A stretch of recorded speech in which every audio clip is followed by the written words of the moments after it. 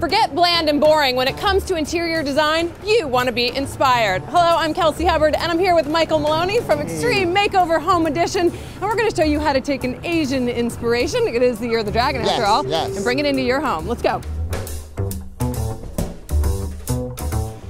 Okay, Michael, what'd you find? Well, I'm loving all of the sculptures right here. You've got Buddha heads, you've got full-on Buddhas, and look at they glaze them in different colors too. Yeah. So if you have a theme and a color going through the house, you know, you could one of these, one of these in a bookcase, really beautiful. One of the heads like that on top of a bookcase. Again, really has impact, has drama, but you're not going overboard. Already I'm seeing a little whimsy. here. Right, how fun for a kid's room, right? To hang these over a little girl's bed would be so cute. There's all different choices in here, and they're so reasonable. A whole box of these is only $12. Well, that's what I wanted to ask you about because Yeah. a lot of people, when they think of an interior design project, they see dollar signs just Yeah. calculating in their head, and so they back away. But you really can do it on a budget if you're And you don't have to do it all at once. Right. You know, but I mean, what little girl wouldn't want this hanging over her bed? This is pretty awesome, isn't it?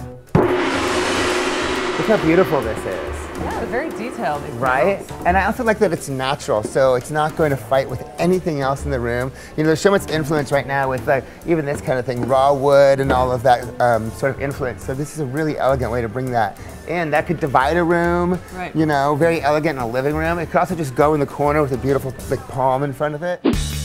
I love these. They're sort of a pagoda shape. They're nylon lanterns. And again, you can, you know, keyless is, is one of those ceramic things you just screw a bulb in. Okay. Right? This can just go right on top of that. Or they look great in the backyard, front yard, hanging in a tree. Right. Really, I think they're really elegant and really pretty. And they definitely speak of, of Asian culture. When you decide to go for a theme, is there a fine line between kind of being subtle and then going The line is not fine.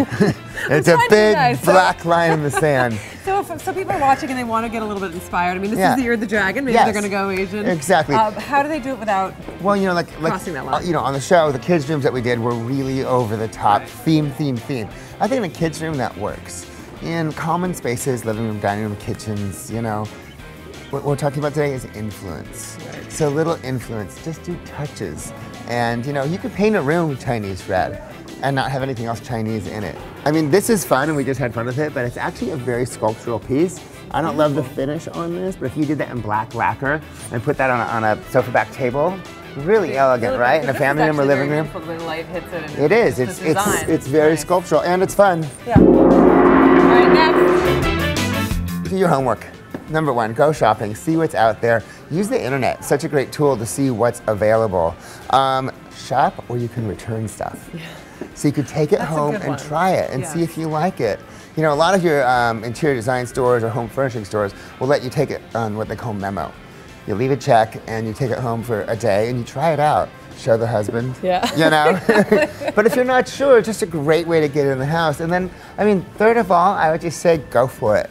You know, you gotta have some guts and get in there and, and take a risk, have a little fun with it. Right. And if you're not confident, if you have a friend like who you love their house, you love their style, take them shopping with you and, and make it a fun thing for you and a friend to do together.